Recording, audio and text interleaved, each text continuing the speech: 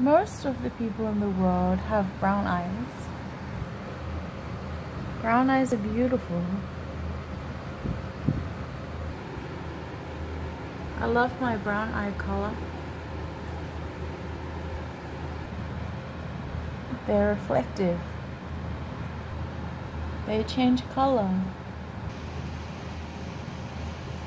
Brown is the color of the soil from which life grows. Brown is a feminine color. Female peacocks are brown.